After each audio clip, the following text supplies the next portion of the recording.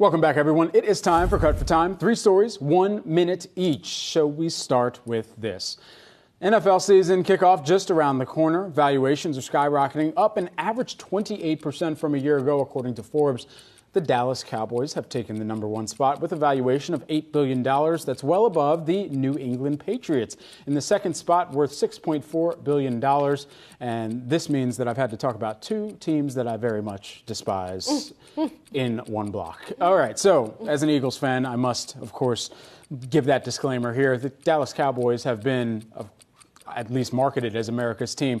It's a large question of whether or not that will actually produce results here, as they've got even roster changes that they're going to be making, it sounds like, um, and willing to move away from one of the biggest figureheads within the organization at the running back position, which is Zeke Elliott. All of that aside, it comes down to the players, the management, the money that they continue to throw around, the contracts, and uh, I don't want to take all the cut for time time. So if there's anything you'd like to add on the Cowboys. I got nothing. Sozz?